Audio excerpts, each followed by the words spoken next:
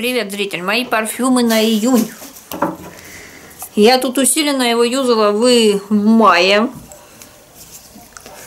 Я думаю, что он будет в пустых баночках июня, и он у меня переходит с мая на июнь. Это мой Морган, Морган для тебя. А, оду я ему превозносить не буду. Я думаю, что ему на оду давала не раз. Но он напоминает мне цветочная диска, красненькая, которую уже и фраше сняли но и немножко отличается. Очень вкусный, сладкий аромат, цветочный, мандариновый, цитрусовый, ягодный. Очень классный. Это, наверное, один из единственных, скорее всего, сладкий аромат из того, что я приготовила на июнь в моей парфюмерной линейке. Вот, и вот он красненький такой.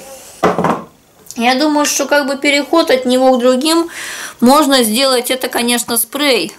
Avon Lotion спрей. Точнее, лосьон спрей от Avon, сочные гранаты манго.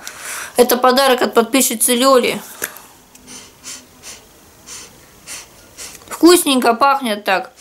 Мне даже сейчас показалось, что тут помимо сладенького чего-то такое легкое, легкая ванилька ощущается. В общем, он у меня будет юзаться в июне.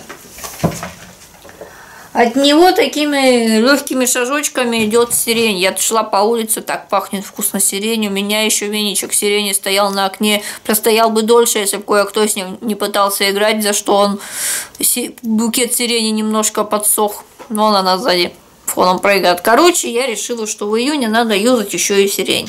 Возможно, она будет в пустых баночках июня, возможно, будет закончиться чуть позже.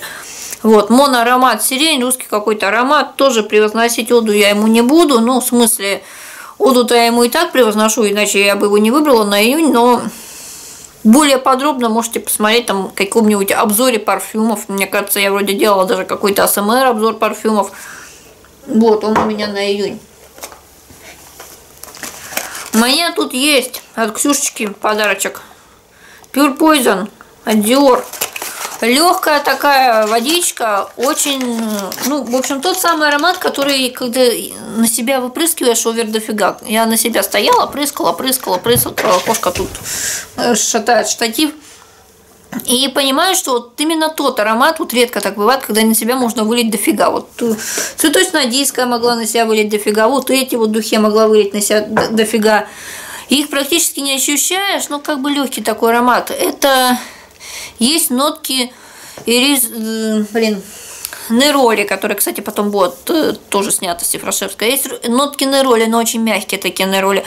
Есть нотки цветов э, апельсина, есть нотки цветов вишни.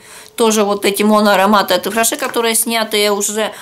И вот что-то такое нежное, вкусное, и при этом немножко теплое. Вот когда открываешь флакончик, почему-то дома ощущается вот легкая-легкая нотка реснуара. Нифига там его нету, на самом деле. Ну, может быть, конечно, он где-нибудь там и заявлен какой-то нотой, но вот раскрывается оно именно на рольке. Держится, ну, не сказать, что довольно долго, но легкий аромат на себе я долго ощущала. Не знаю, как люди ощущали его на мне, но очень мне понравился. Спасибо, Ксюшенька. И он у меня будет юзаться в июне, помимо прочего. Он у меня, да, вот в коробочке все так и стоит. Мне так нравится эта фиолетовая коробочка. Так, ну раз на роли. И вот я решила, что пусть будет на роли сам по себе, и Фрашевский, Секрет де это тоже уже снятость на роли. Яркие такие, с перчинкой. Свежие на рольки. Но я, правда, помню, как-то и в холод юзала. Но вот на лето, на жару, я думаю, самое то, на тепло самое то. Ну, вообще, как бы весенний, летний такой аромат, очень хороший, стойкий, мне очень нравится. Так, у меня с мая переходит на июнь. Это Элизабет Арден Грин Ти, зеленый чай, туалетная вода. Подарок от э, моей уже бывшей, ну, скажем так, от моей знакомой, не знаю, можно ли назвать это бывшая знакомая, Ленки Снегиревой. Я ее в свое время назвала раньше Аленка Собянина. Ну, короче, от Ленки Снегиревой канал у нее, не знаю, как сейчас называется, раньше назывался одно время собственно. Забивайте в поиск, заходите к ней, она там про косметику что-то втирает.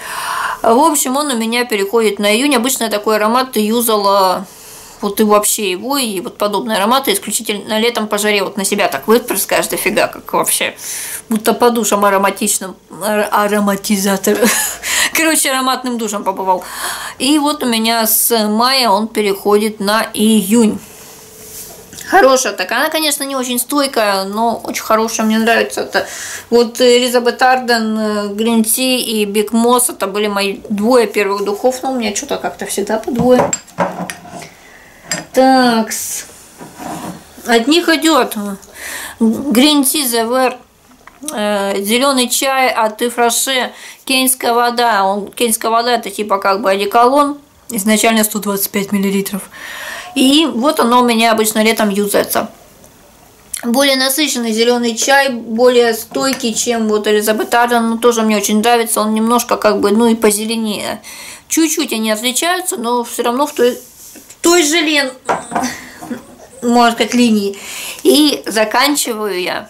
Тоже подарок от Ксюшечки. Это вербена, снятости, фраше, кеньская вода. Кстати, по-моему, зеленый чай это тоже уже глубокая такая снятость. Хотя я помню, у них иногда так в онлайн-магазине попадался он в продаже, но я давно не, не покупала, уже года два ничего в фраше, и как бы не знаю, есть он сейчас или нет, и на сайте на самом не была довольно давно.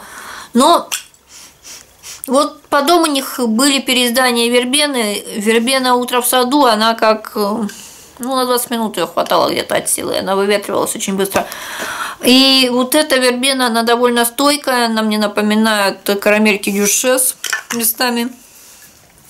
В общем, мне очень нравится. И вот начинала я с такого красненького, перешла потом на фиолетово-синенькое и закончила желто-зеленой ноткой. Да, я сначала хотела еще взять сюда фаберликовский юдзу, тоже Ленка Снегирева мне отдала его.